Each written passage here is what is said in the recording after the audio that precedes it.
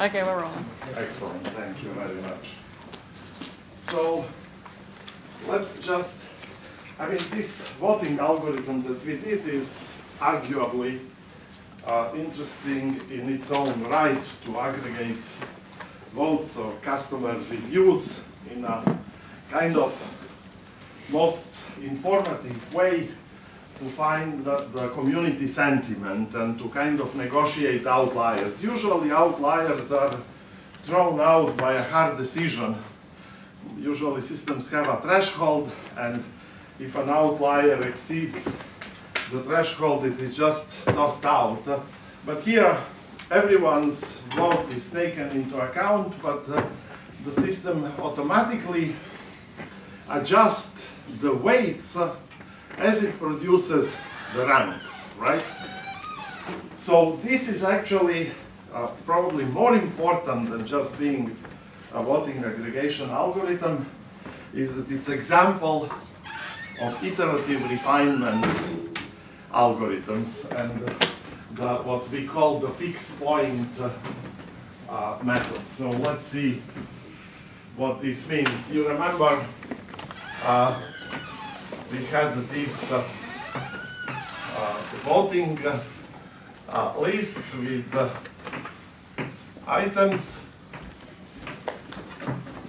and we had voters, right?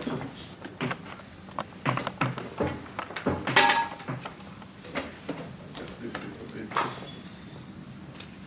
right, and in one direction voters give their preferences, they pick uh, the items, all right, one item in uh, each, um, on each list, so this is list L1, this is a list, say, LK, and the system, the algorithm, uh, assigns simultaneously, that's important, uh, the ranks rho i on the list L.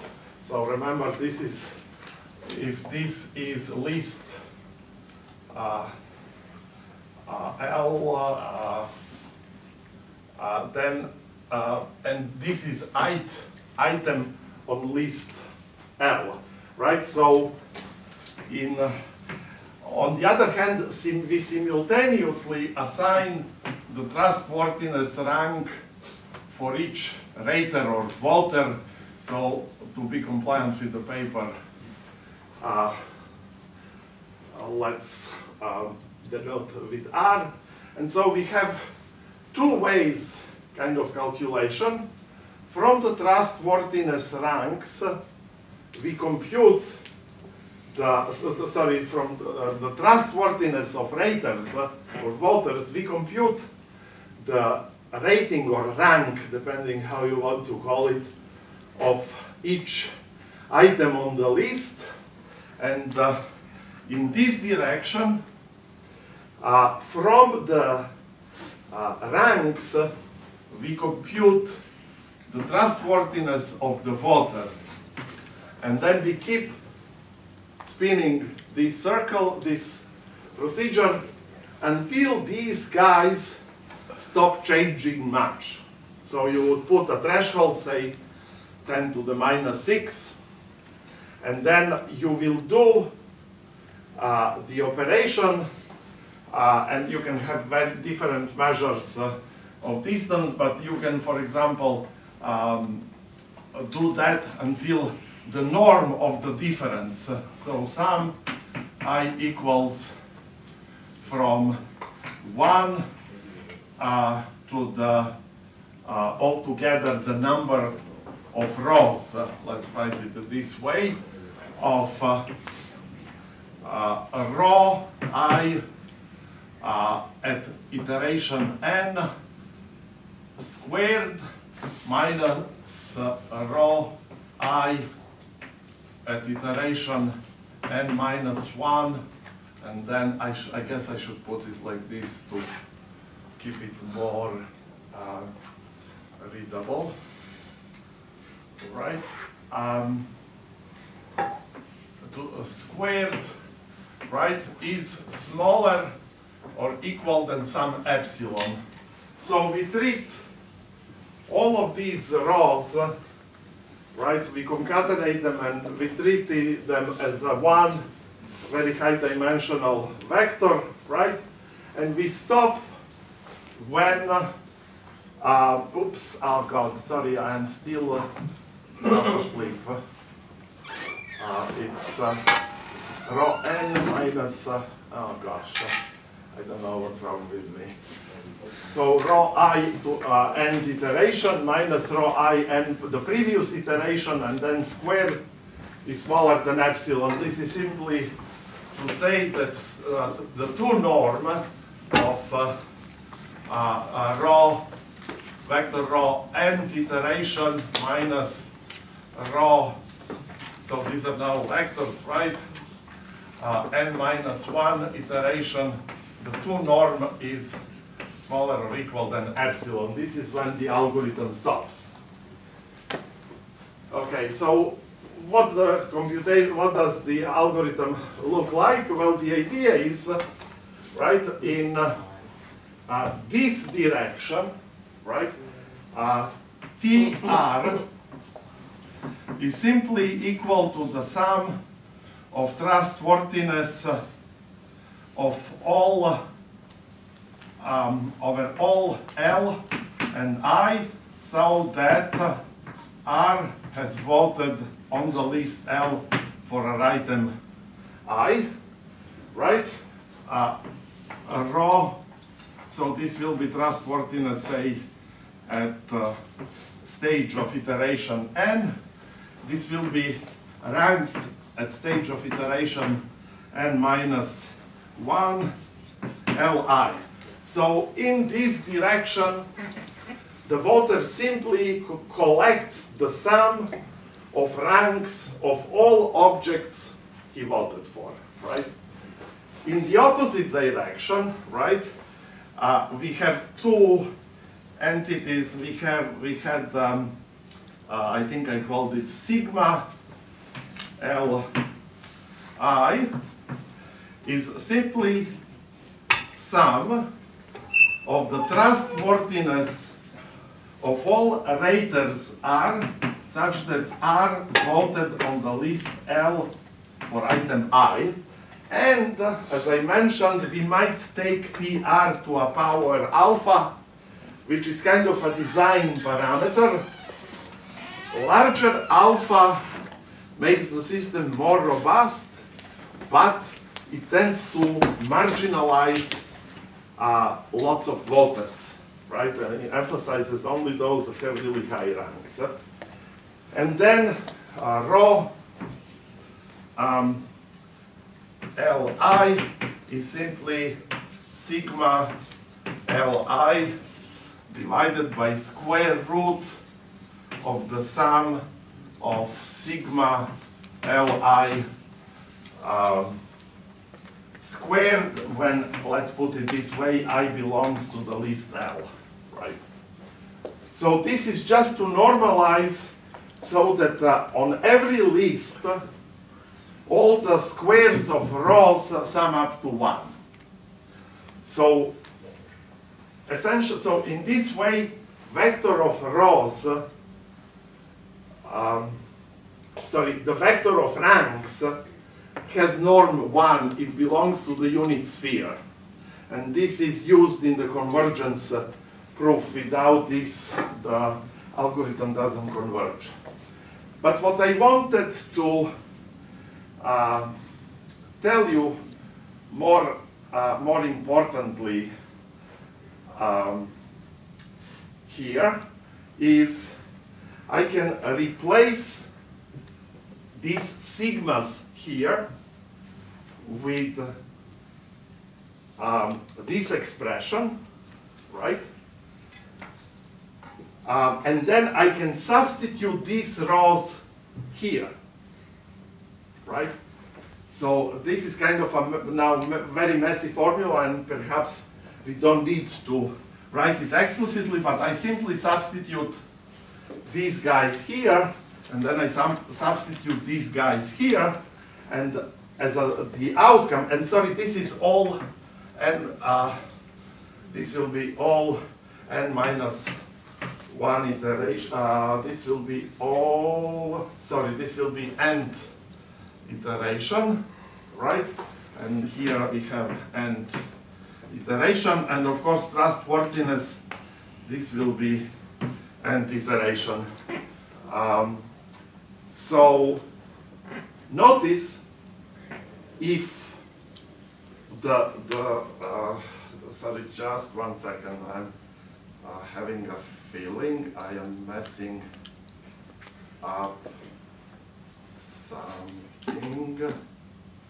Uh, yes, so it's better if we do, if we put, if we call this also n minus first iteration, because it's computed from n minus 1 rank.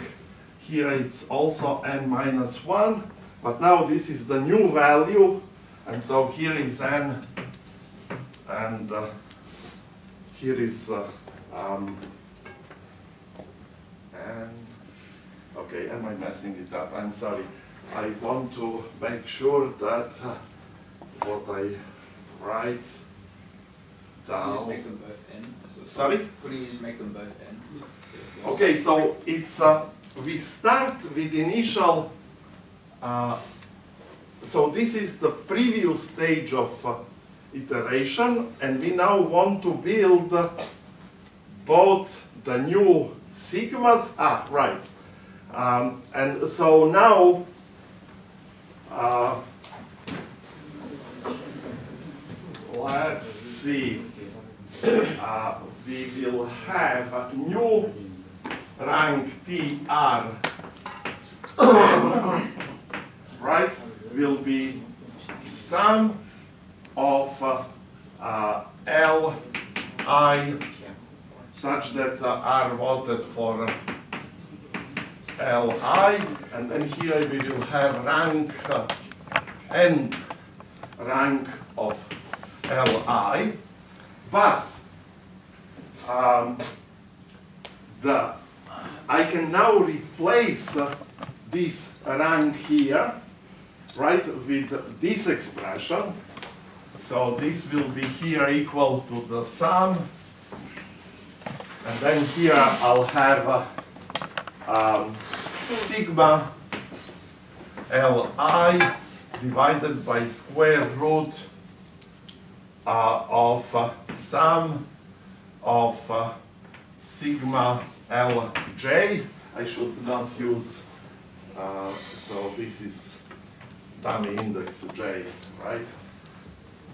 Sum uh, when j belongs to L, but this now itself is equal to the sum uh, j, uh, and this will be sum of over Li such that R voted for Li. So here is uh, L uh, such that R voted uh, uh, L I, and then I have uh, instead of this sigma Li, I have this. So it's sigma R sigma over all R such that R voted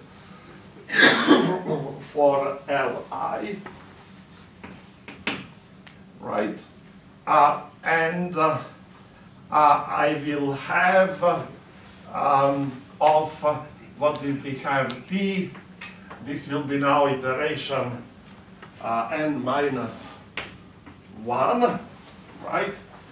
Uh, n minus 1, um, so this will be equal to, um, let me see, so sigma Li of uh, Tr n minus 1.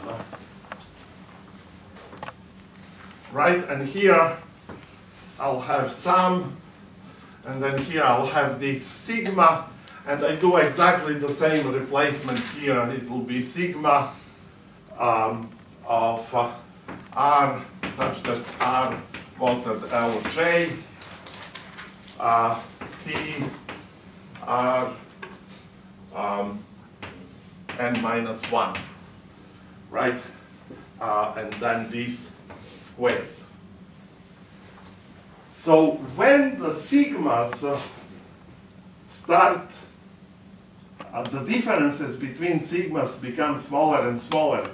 Clear, clearly, also the difference, because it's expressible in terms of sigmas, the difference between the value of the trustworthiness of water R at n will be, will be not very different from iteration n minus 1. And essentially, when the iteration stops, these guys will be the same.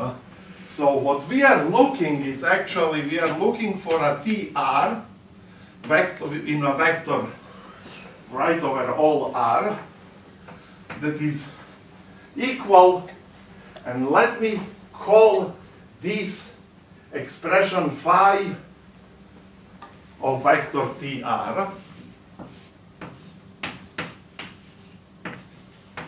And look what we are actually looking. We are looking for the fixed point of this vector function, right?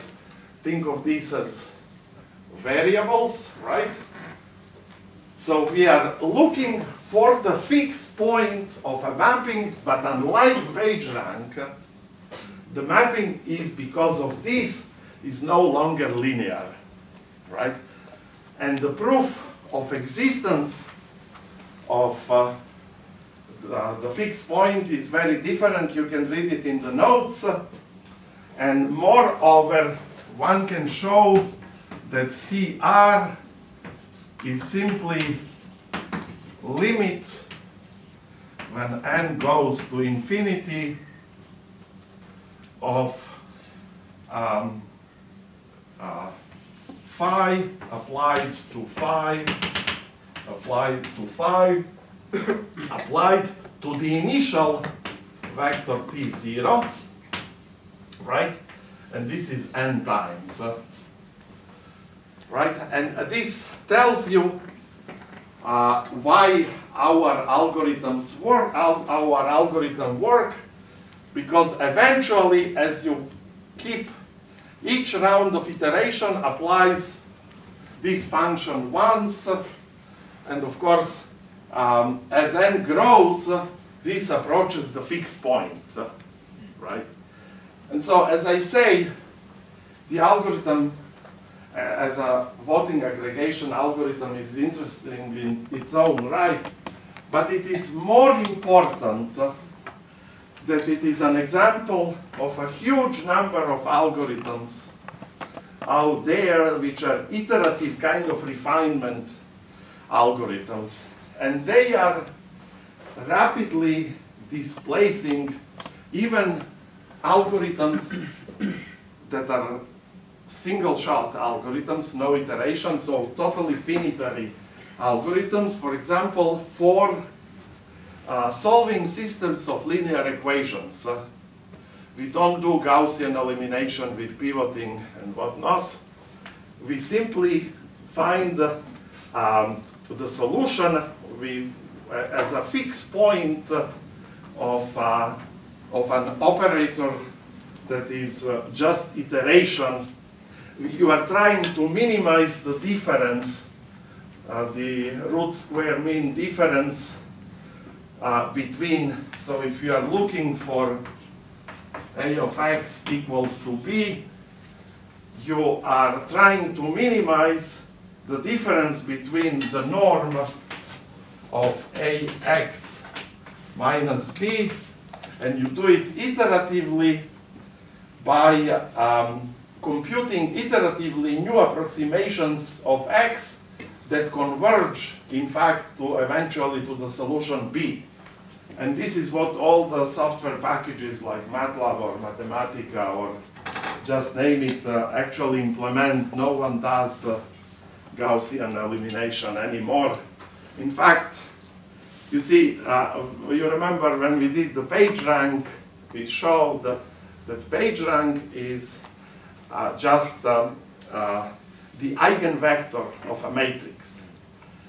It used to be until probably 15 years ago or so that the way how we find eigenvectors is first we find the eigenvalue and this eigenvalue is found by solving the polynomial, the characteristic polynomial, right? Um, it is simply ai a11 minus x and so on the diagonal you have minus x and aij otherwise so the determinant of this is a polynomial and then you use for example Newton-Raphson method to find uh, the solutions to the equation that this is equal to zero. Believe or not, nowadays things completely flipped the other way around. So we no longer solve polynomial equations, algebraic equations by Newton-Raphson method. What we do, uh, like Mathematica or MATLAB or any important uh, software package for uh, scientific computation, it actually has a trick how from the polynomial, how it constructs a matrix uh, whose determinant is your polynomial, and then it uses matrix decomposition, matrix operations to find the eigenvalues. So it's exactly the opposite of what we used to do. We used algebraic equations to find the eigenvalues. Now we actually use eigenvalues to find the solutions to algebraic equations. And uh, uh, so um, the bottom line is that uh, iterative methods are increasingly uh, favored because they tend to be far more uh, robust, numerically robust. So, and next thing what we are going to do is uh, we are going to do another class of fixed point algorithms, and that's uh, the, what's called the iterative filtering algorithms. Okay, so I mentioned last time you should read uh, the introduction to the notes that uh, deals with uh, very basic uh, probability and uh, statistics. so, and I don't want to bug you here with, well, maybe with some calculations, but the rest you can just read in the notes. You see, the point of these formulas is how you should, of course you never make an effort to memorize them, but uh, you understand how the proof goes, just like Master theorem last semester, right? And then you can reconstruct the calculation yourself. So why do we need uh, iterative filtering algorithms? So I sh should just tell you briefly what uh, maximum likelihood estimation is. Uh, likelihood is essentially the inverse of probability. In what sense? If I have a coin, I can tell you that the probability of getting a head is 50%. Uh, so you know that if you do lots of experiments, about half of them will be heads and about half of them tails. So probability tells you um, what kind of experiment you should, uh, outcome of experiment you should expect. If uh, the coin is biased, say 2 to 1, then you know there will be twice as many heads on average. Likelihood is opposite. Likelihood is when you have a realization, uh, and yeah, you are looking for what is uh, the most likely probability distribution to give you that particular outcome, uh, right? So, for example, uh, I would say you, you toss, you have a, coin, you have no idea about probability of head and tail, and you do an experiment, and lo and behold, this is what, what you get.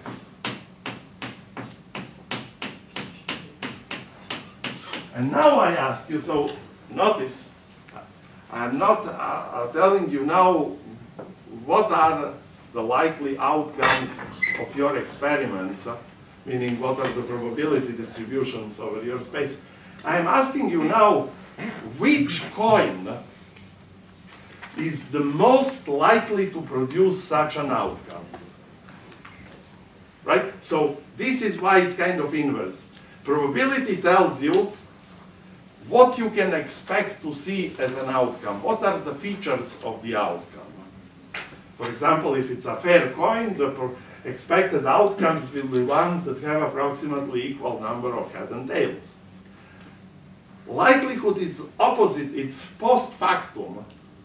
You have a realization and you want to figure out what is the probability distribution for the coin that is most likely to produce such an outcome. And this is exactly what I'm telling you, this inversion. It's what machine learning is. What is machine learning? You have outcomes of something, and you want to estimate what is the probability distribution of the variable whose realization you have. That's essentially what machine learning is all about. Just going in the opposite direction. When you have the realization, what is the probability distribution that... so what do you think? Which coin is most likely to produce this outcome? Well, let's see. We have one, two, three, four, five, six, seven heads, right? And we have one, two, three, four, five, six, uh, seven, eight, nine, nine tails. What do you think? Which coin, with what probability distribution uh, for head and tail is the most likely to produce this? What will be the probability of head, of a head? 7 over 16. Exactly, 7 over 16. So 7 of, right? Uh, let's see why this is so, right? Well, if I have a coin with the probability of the head is pH, what's the probability to get this outcome? Well, ordering doesn't matter. It is pH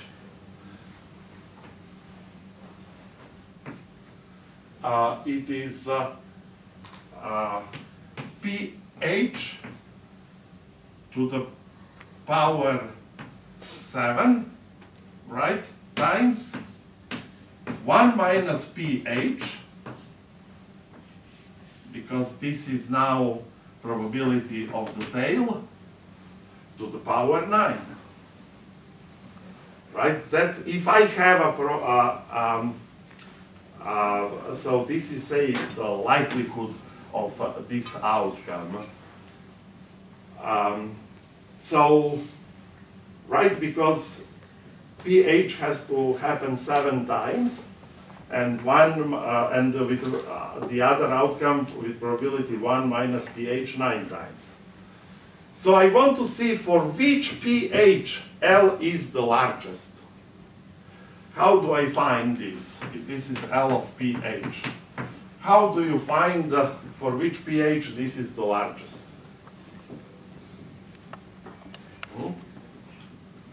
Oh, come on people, have you taken math courses? How do you find the extrema of a function? Of a smooth function, of a polynomial? Differentiate. Differentiate, right? so what is L prime of pH? Well, the derivative of a product is uh, the derivative of this, which is 7 times uh, pH to the power 6 times 1 minus pH to the power 9 plus pH to the power 7 times uh, 9 times 1 over pH to the power 8 and then of course times minus 1 because of this minus here. And so I have to set this equal to 0 and uh, uh, obviously pH cannot be neither 0 nor 1, uh, right? Because the likelihood then is 0. So I can divide by this. So this disappears and this disappears. And I get 7 times 1 minus pH plus, oh sorry, minus 9 times uh, uh, 9 times, uh, so, uh, sorry, 9 times pH, right, has to be equal to 0. Am I not messing up anything? So I decide, so I will have left this one, this one is uh, gone, so everything should be fine, right? So what do I have? I have 7 minus 7 pH minus 9 pH equals 0. So this is 16. So I have, if I put it on the other side, I get 16 pH equals to 7. And lo and behold, this implies that pH is equal 7 over 16, as you would expect. So so what is, it's kind of Bayesian approach to life, right? You see an event, and you are asking yourself, gee, what could have caused it, right? And which solution do you take? One that is the most likely, right? Uh, now, how good are such estimates, uh, right? This is called maximum likelihood estimates. Actually, they are remarkably uh, good when the size of the sample is large. They are asymptotically uh, best um, estimators. But if the sample is small, they can be catastrophically bad. What would be an example? Assume I have a box, right? and it has some balls inside, uh, say, uh, and you don't, and all the balls have an index, one, two, three, and so forth. Uh, you cannot see what's in the box. The only thing that you can do is you can put your hand in the box, take out a ball, and look at its index. And now you have to estimate how many balls there are in the box. Right? Well, well, assume that you get a, a ball out with the number k in it. In what case will, for what number of boxes uh, would this event be the most likely? K. and you have k. Because then probability, of course there must be at least k many balls because you took out one with index k. If there are more than k box, eh, balls, say n bigger than k, probability to get the k ball out would be 1 over n. All balls are equally likely. So the largest uh, probability is uh, of that event is if there are exactly k many balls. But what do you think, is this uh, kind of intuitively correct? Uh, what would be the best estimate? Uh, this is your homework problem. But what would be the best estimate for the number of balls? What would be intuitively, what would you say? 2k? 2k, exactly. You found the middle band, right? if you have a bunch of uh, numbers, right? then, and you draw randomly, right? You are more likely, most likely to get something that is in between and not the mean and ma- yes. Wait, so the, in this case, the likelihood is you pull out a ball of index one, and the chances the chances are there's only one ball in the box. Yeah, so if you use the maximum likelihood estimation, this event is clearly the most likely when there is only one ball, because then the probability is one. So you see, of course, this is because you do a single experiment. If you did 10 experiments, of course, your estimate would uh, dramatically improve. Here is a puzzle for you. It's a pretty tough one. You have to hire, it's called, you, oh no, I'll tell you the juiciest uh, version of it. Uh, So you have this bachelor, and he wants to get married, right? So what does he do? He starts dating girls, right? Well, maybe I can be accused of political incorrectness. He starts dating the partners of his preferred sex. okay? And uh, he goes out with one girl. If he says, I don't want to marry you, that's it. I mean, she's not going, if uh, he cannot ask her later again. And he has lined up a hundred girls. What should be his best strategy if he does the following? He dates certain number of girls, right? and figures out which one he likes like the best, and then continues dating until he finds the first girl who is better than the girl, the best girl he.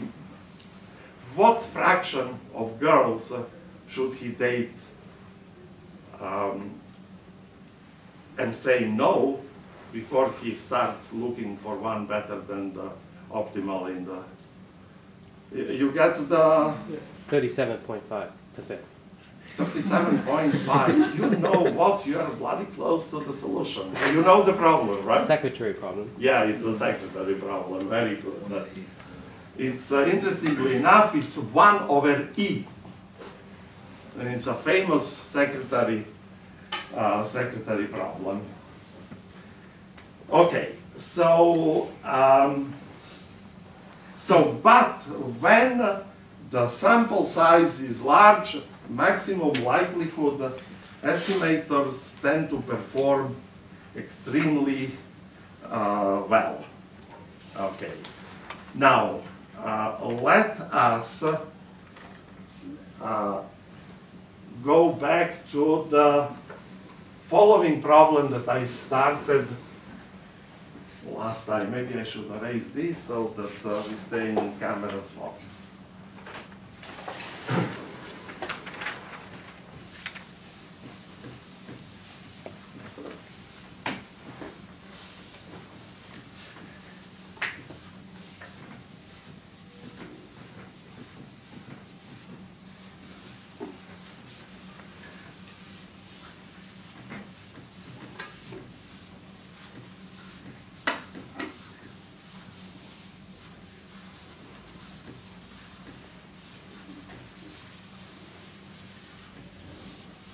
You know, uh, this business, one of the reasons why I do these iterative filtering algorithms is, of course, you will take machine learning classes, but